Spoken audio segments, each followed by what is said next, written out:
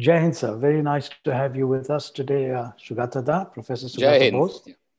Yeah. Uh, on behalf of the London Story, TLS, uh, we welcome you to this uh, first of a series of, uh, of discussions on the idea of a nation. Uh, let me just give you a brief on, on the London Story. We are an independent human rights organization re- registered in the Netherlands. Um, the foundation aims to investigate, advocate, and engage on issues of human rights abuse and humanitarian crises. Uh, this uh, time from 1920 to uh, 2020 to 2023 approximately we are monitoring the rise of ultra-right majoritarianism globally with a focus on india. We study hate speech and push for advocacy and accountability on social media platforms. We record incidents of violence involving state and non-state actors globally but again uh, with a focus on on india um, professor sugata bose uh, the Gardiner Chair at uh, Harvard University. Uh, he had his early education at Presidency College in Calcutta, went on to Cambridge to do his PhD.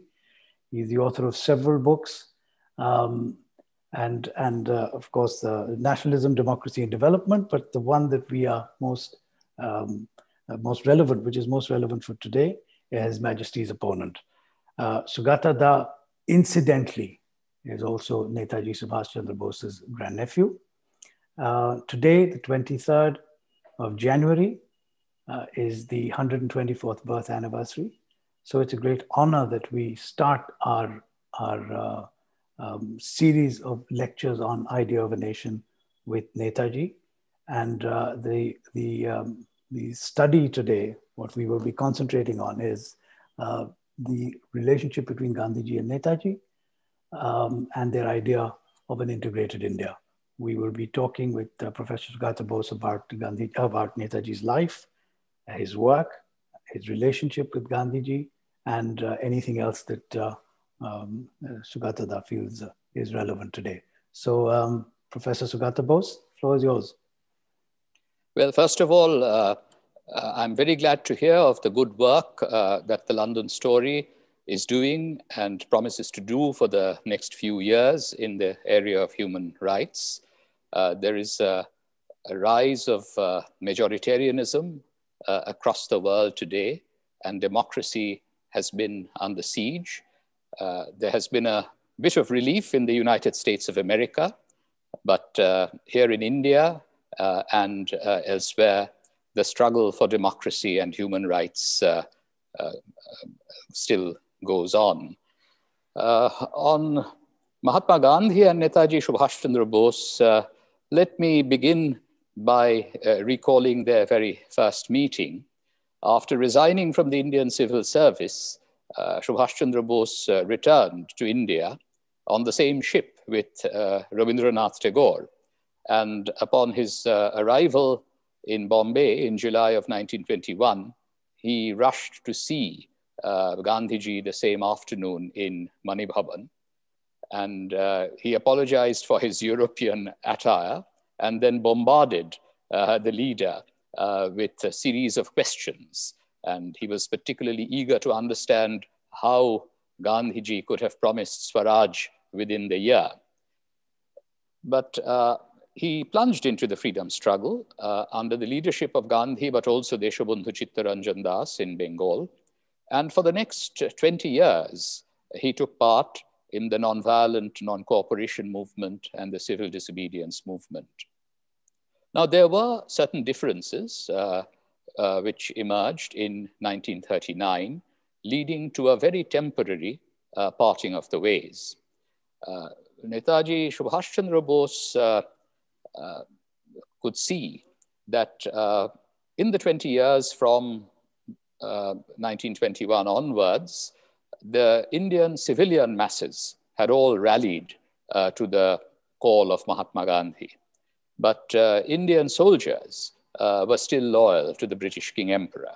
And he wished to take advantage of the international war crisis in order to change the loyalty of Indian soldiers uh, away from the, the, British Empire and to the cause of uh, Indian freedom.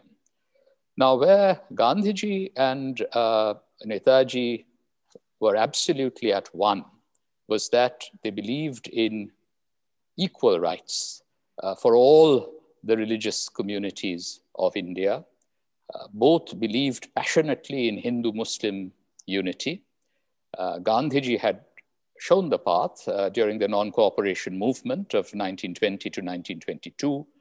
And it was Netaji Subhash Chandra Bose who took it to its climax uh, when he united Hindus, Muslims, Sikhs, Christians, and also all of the linguistic groups of India, men and women, uh, in his Azad Hind Fauj and movement between 1943 and 1945.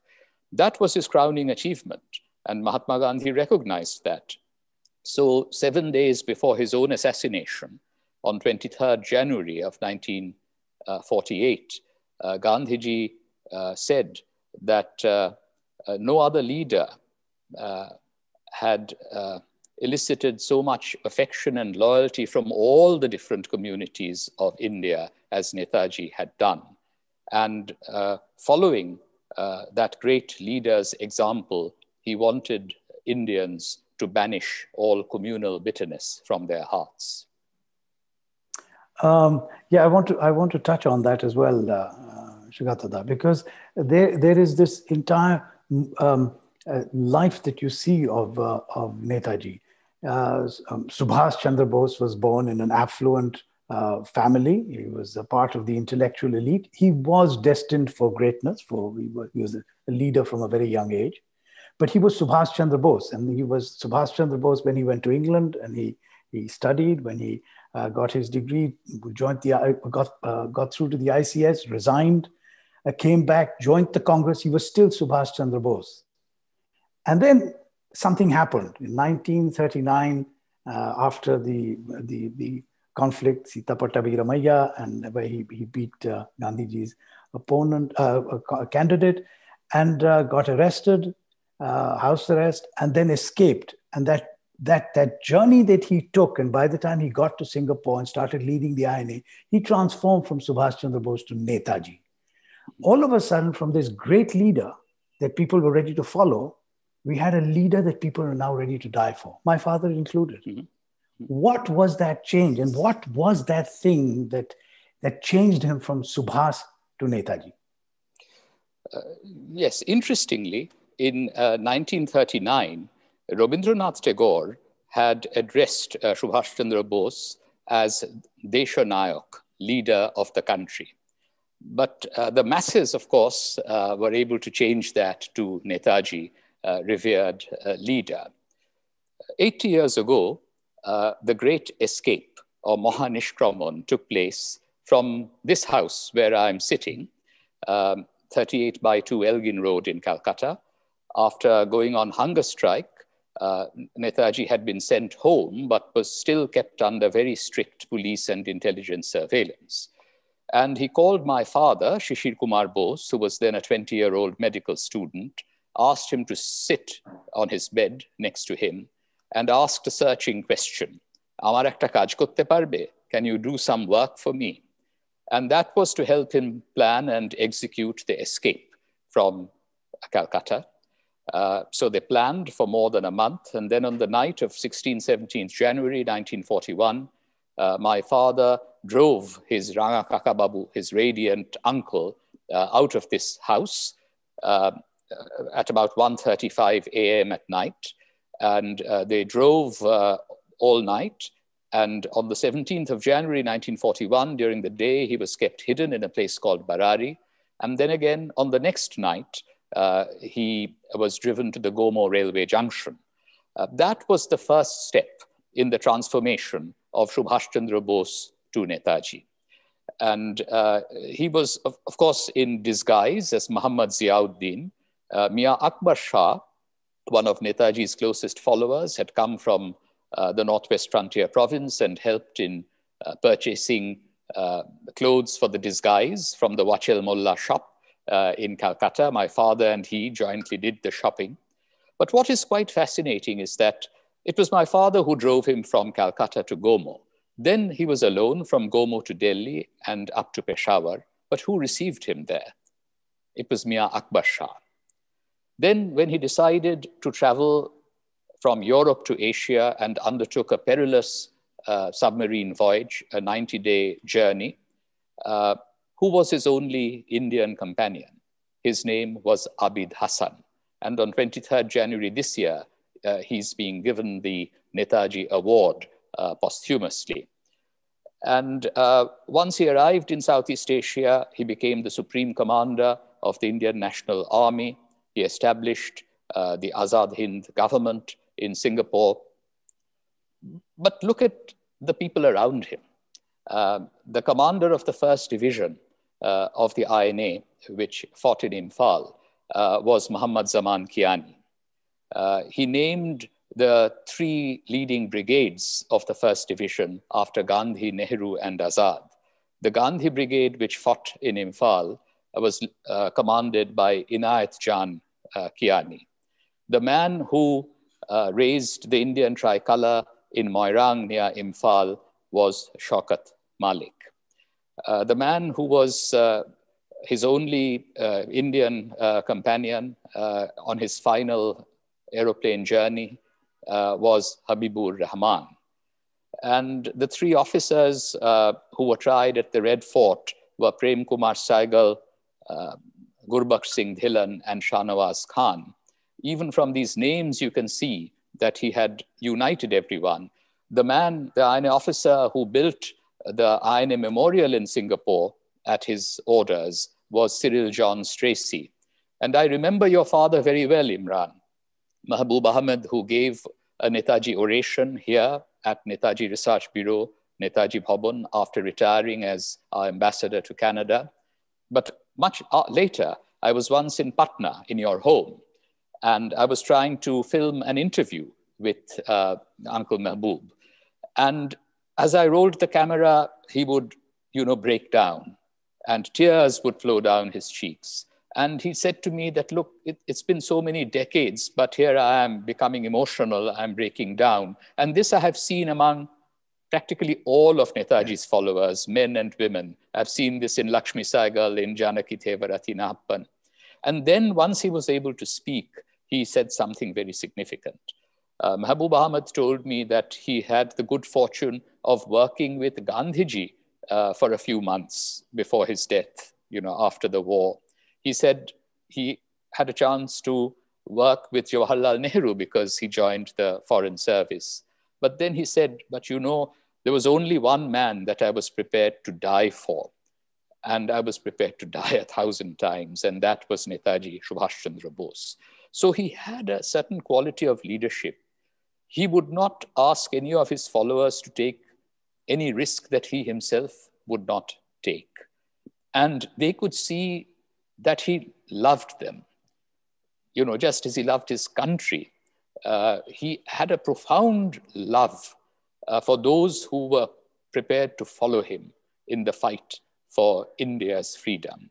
And they returned that love in full measure and gave him unmatched affection and admiration. So that was, you know, Netaji. Uh, you know, he, he, he was everything that they had. And because they knew that each one of them meant something to him, were dear to him, those who were prepared to risk their lives for India's independence. Absolutely. And I, have heard this, I've heard several people, uh, Captain Ram Singh, uh, mm-hmm. of course, Uncle Gurbaksh, the whole lot. They, they were yes. they, they were ready to do anything, anything uh, whatsoever. And that's what is interesting. Again, he did unite. Uh, he never uh, differentiated on the basis of anything, not even gender. Right. Everything was was was equal for him. Yeah, and and that I think was a great achievement, which, as you said, even Gandhiji recognized. So there is still one controversy that people, uh, you know, because there's not enough information about about uh, Netaji, so it's very easy to make up things, and I think a lot of people have done that over the last uh, uh several decades. Uh, one of the things that is, is, is asked often is the relationship that he had with Germany. Now I know why, uh, because he was fighting the British Empire, and but I want, in your words, to understand a man who believed so much about putting people together was now taking help from people who didn't believe that at all. Uh, and, uh, and that's a question that is asked often as to why uh, and how did the INA and uh, Netaji uh, manage to get so close to somebody like Adolf Hitler and why? Why would he do that? Well, he was, uh, he was not close to Adolf Hitler. In fact, when he was in Germany in 1936, he visited briefly. He actually went to all of the European countries between 1933 and 1936 um, and uh, when he left Germany, he denounced the new German nationalism as narrow, selfish, and arrogant. Uh, he had also been critical of uh, Japan's in, uh, invasion of China in 1937 and sent a Congress medical mission uh, to China uh, as president of the Indian National Congress. So ideologically, he was completely opposed to, to, to Nazi Germany. and it was not a very simple uh, uh, principle of uh, the enemy's enemy is my friend either. Uh, I gave the answer to the question that you're asking when I said that he felt that he had to reach Indian soldiers who had been successfully kept insulated by the British from the swirling currents of civilian mass discontent uh, between 1921 and 1940. And he felt that the final struggle for India's freedom had to be an armed struggle. And where could he get access to these Indian soldiers? Only where they were prisoners of uh, the enemies of Britain. And that is why he went via the Soviet Union, while the German Soviet Pact was still in place, uh, to Europe and it was Germany and Italy who were holding these you know, Indian soldiers. But as soon as Germany invaded the Soviet Union, he could see that his plan of an armed thrust from the Northwest uh, was not going to materialize. And so he began to turn to Asia. And after Japan reached the gates of India, they took Burma by March of 1942, he was quite determined. In fact, when Singapore fell in February 1942, uh, he felt that he had to come to Asia. Unfortunately, it took a year, and that delay proved to be crucial for him to be able to organize that journey by submarine to Southeast Asia. In Asia, he of course recruited the professional soldiers who had surrendered on behalf of uh, the British Indian Army to, uh, uh, to uh, the Japanese in Singapore. Uh, but he also decided to recruit Indian civilians. And so most of the professional soldiers happened to come from uh, groups that the British had called martial races. There were many from Punjab and the Northwest Frontier Province.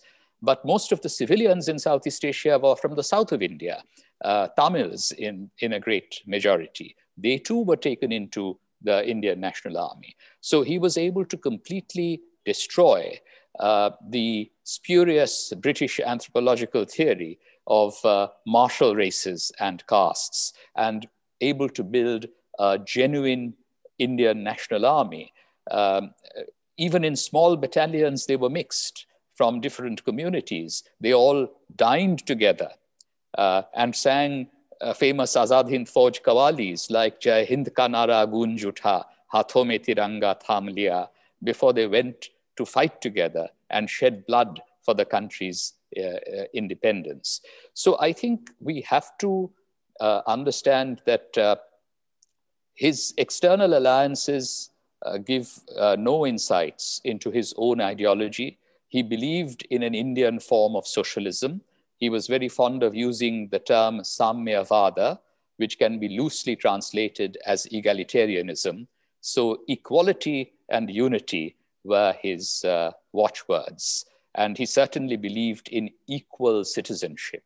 And he gave equal Indian citizenship to all of the overseas Indians in Southeast Asia under the auspices of the provisional government of Free India. And finally, you know, he was always opposed to narrow nationalism. His nationalism was something that was very broad and, uh, and generous.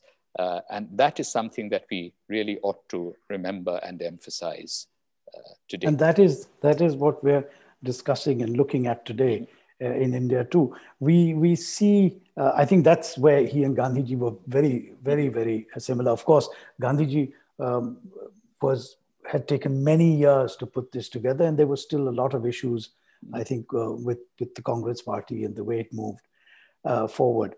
Uh, and Netaji, in just a few years, had managed to do something which was absolutely incredible. And I think Gandhiji recognized that too. Both these leaders have been uh, misappropriated over the last several decades. Um, uh, Gandhiji, by again, all sections of society, uh, excluding the right wing section. Netaji, unfortunately, by this group, and they feel that, that he is their voice. And that's becoming more and more apparent. Now, uh, of course, they, they, we will talk about uh, the Bengal elections later, but um, uh, how, how does that happen? How do they believe that he is their man and that he spoke their language when he was, uh, I think at least, openly antagonistic to, to uh, narrow nationalism. Uh, how did this happen? Netaji was not only opposed to uh, narrow nationalism, but in his time, uh, he was very strongly opposed to the Hindu Mahasabha, which was actually quite a fringe political group in those days. The Indian National Congress was a much uh, larger uh, political force. I don't think it is that easy to misappropriate uh, Netaji Subhash Chandra Bose because uh, his life is crystal clear. Uh, his uh, ideals were lofty. And anyone uh, who has uh, studied his life will, will see immediately that he gave equal rights to members of every different community. And uh, no one had achieved religious harmony uh, in the way uh, that, that he did. But uh, I think it's worth uh, looking at both the similarities and differences between uh, Mahatma Gandhi and Netaji Subhash Chandra Bose when it comes to this question of equality among all religious communities. Gandhiji evolved over a period of time. During the non cooperation movement, when Netaji came and joined uh, Gandhiji's uh, struggle, uh, Mahatma Gandhi had achieved political unity. His closest political comrades in those days were Muhammad Ali and Shaukat Ali. Uh, but uh, Gandhiji would not even sit down to dine together with them. Uh, at that stage, he did not believe in intermarriage between members of different religious communities. On the other hand, if you read Subhash Bose's writings and speeches, even in the 1920s, he's talking about the imperative of cultural intimacy among India's different religious communities. And he's also saying that his political goal is the creation of India as a free and federal republic. So he, he is very clear about that.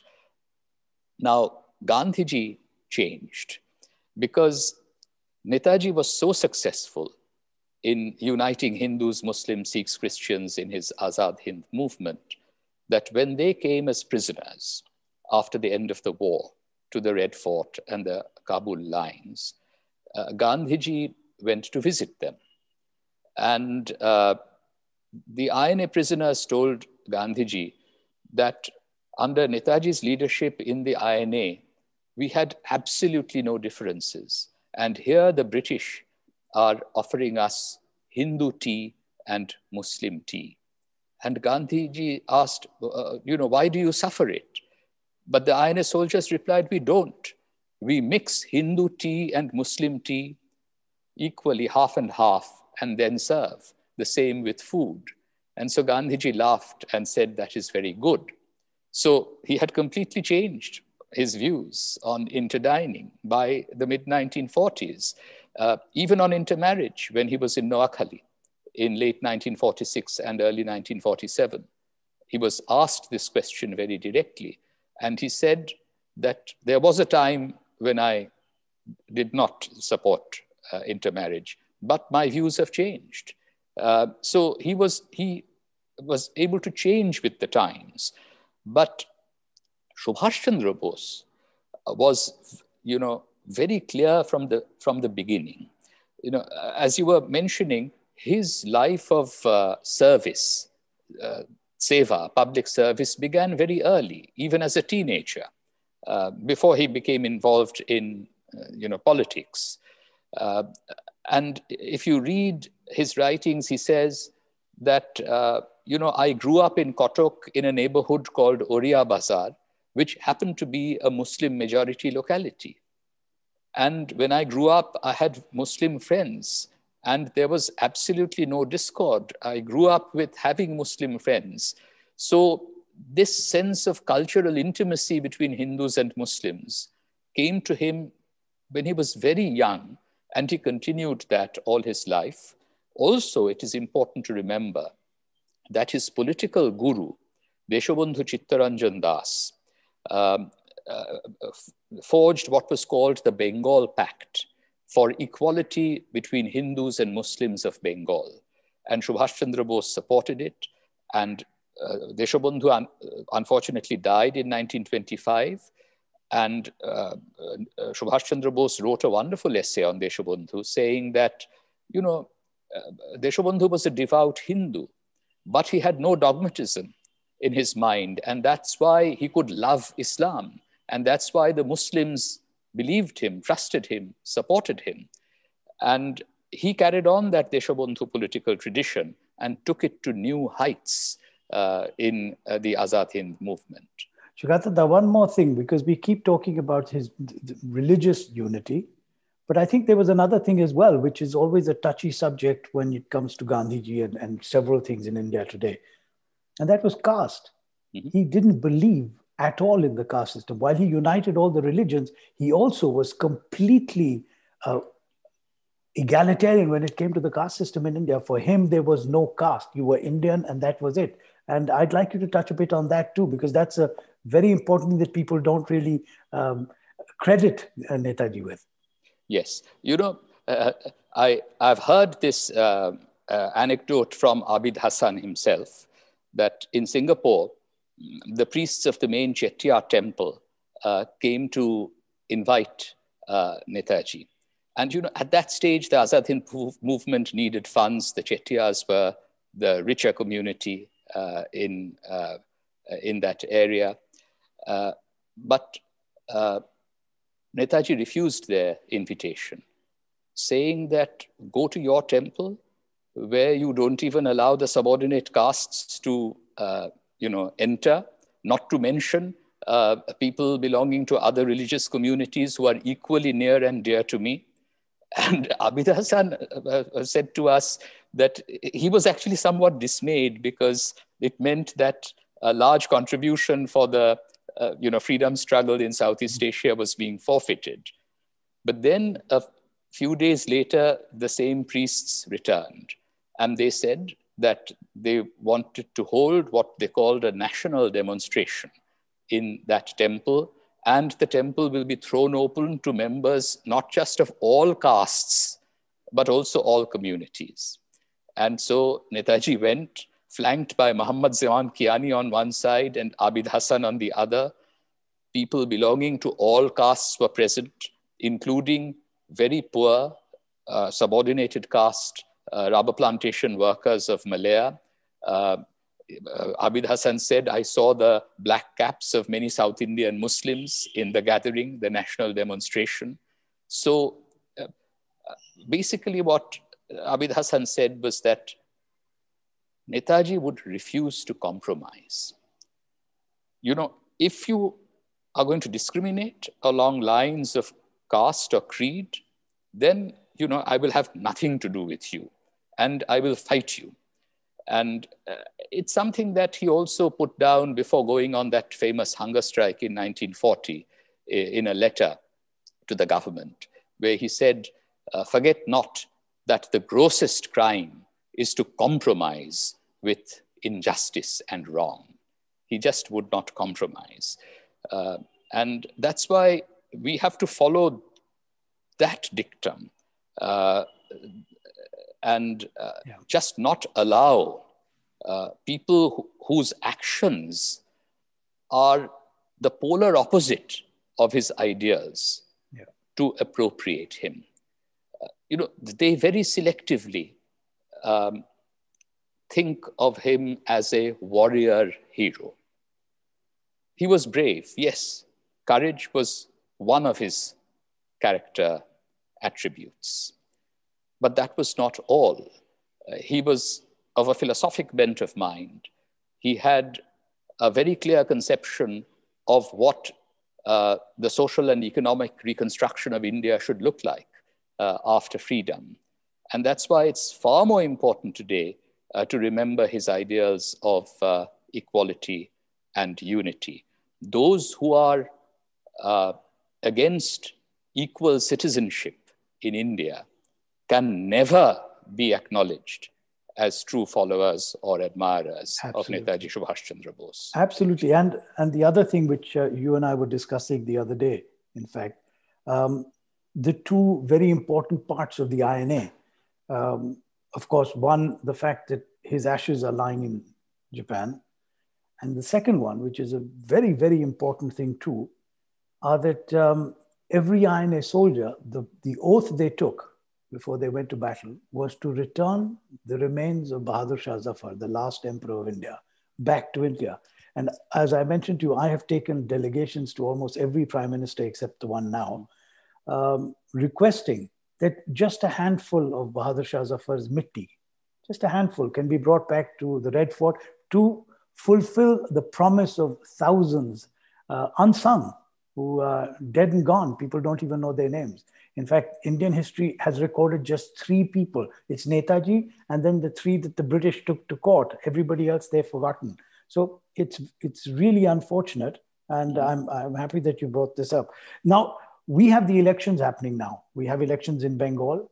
One of the things that India seems to be very good at is that they put even national leaders into little boxes. So Maulana Azad became uh, a Muslim leader.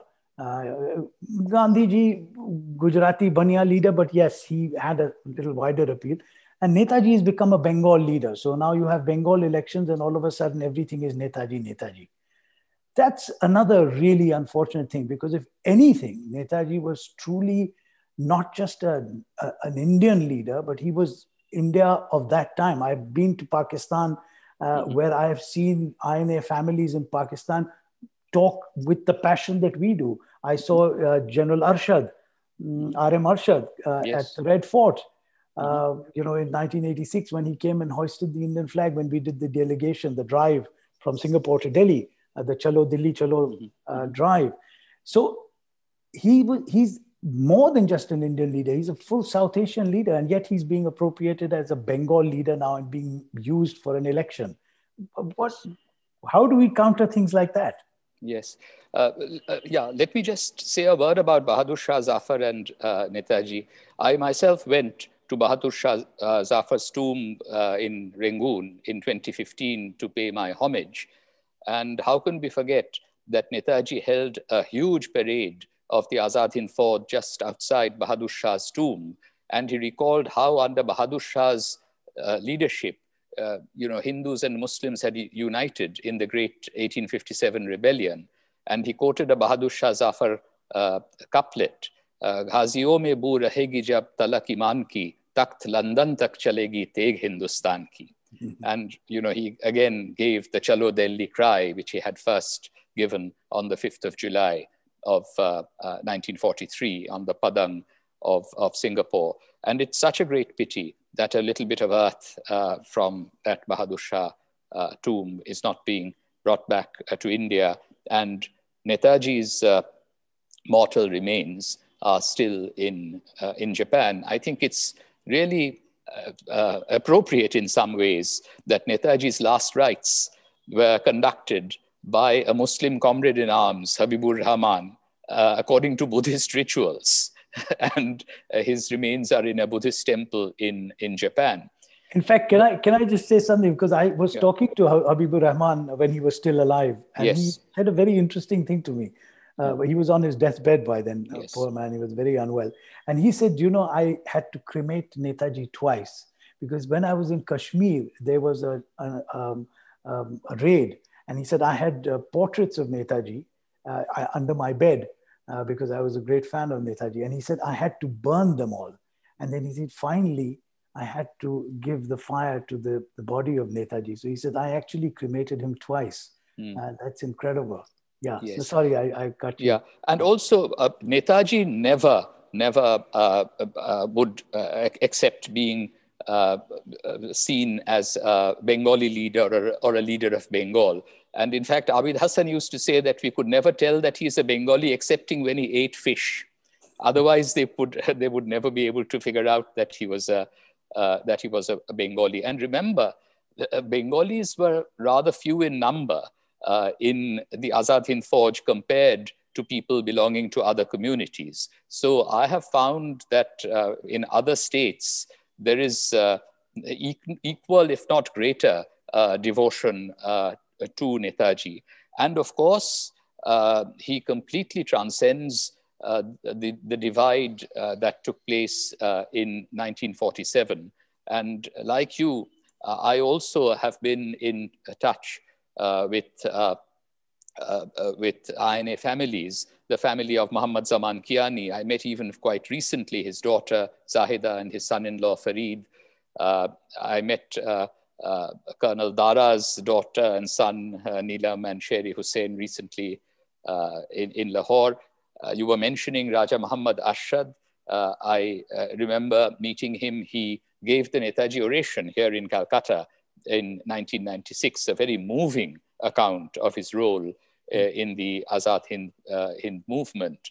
Uh, so yes, um, you know, first of all, had he not died in on the 18th of August 1945, I think he was the one leader who had the trust of all of the different religious communities of India. Uh, he had the implicit trust of the minorities, and he would have worked out an equitable power sharing arrangement and perhaps would have been able to prevent the tragic uh, partition. But also, I think if we followed Netaji's ideas, then we wouldn't have embittered relations between India and Pakistan. We would be able to form uh, a genuinely uh, strong uh, South Asian Union, even while acknowledging the sovereignty of the different nation states that have been created uh, by now over the, uh, uh over the decades. And also, let us not forget that Netaji, by destroying the prized instrument of British imperial rule, the British Indian Army, paved the way uh, for the liberation of the you know, whole of uh, Asia. because um, Indian forces could not be used again uh, in you know, Burma uh, or, or Malaya, or could not go to the aid of the French and the Dutch imperialists elsewhere yes. in, in Asia. Yeah. And that's why when Nelson Mandela came to Calcutta after the end of apartheid, at a big meeting in the Eden Gardens Cricket Stadium, he said uh, that, of course, they respected Mahatma Gandhi and Jawaharlal Nehru, just like your father, Mahbub Ahmed. But he said, uh, but uh, your leader, Netaji Subhash Chandra Bose, was also our leader because he inspired the youth of Africa, anybody who wanted to fight for liberation from uh, Western colonial rule. So he, he, he's, he transcends Bengal, he transcends the partition lines of 1947 uh, to have real following in uh, Pakistan and Bangladesh. Uh, and elsewhere in South Asia. And also in some ways, he belongs to, you know, all freedom loving peoples in Asia and Africa and beyond.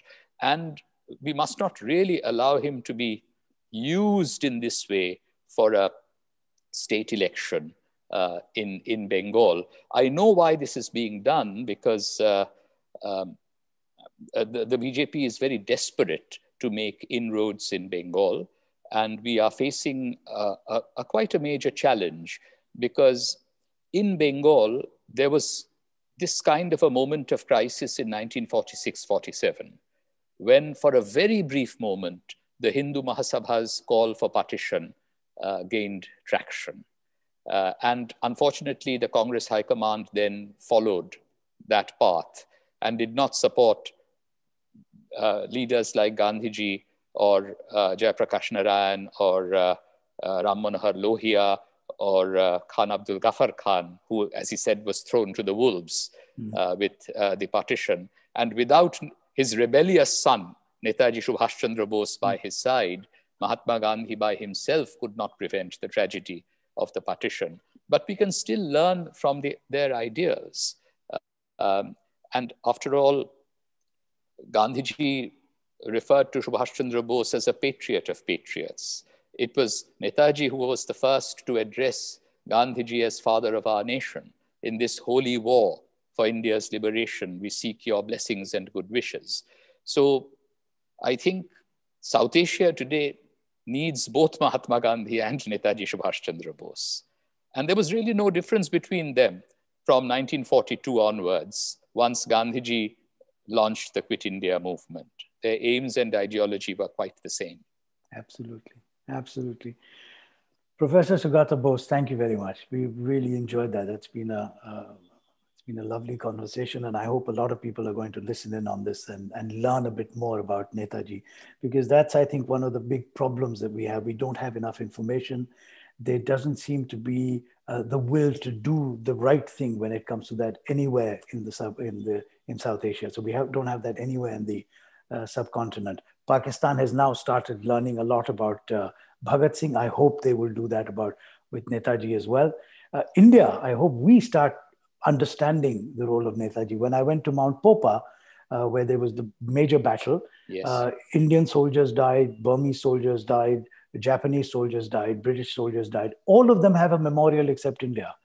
We have to respect our martyrs. We can't always pretend that uh, that we uh, that we are great nationalists, but we do not want to do anything for our martyrs. Uh, thank you again, and I hope we'll have you on again at some point to discuss more uh, on, on Netaji and several other things. Uh, thank you very much. Jai Hind. Carry on the good work. Uh, Jai Hind.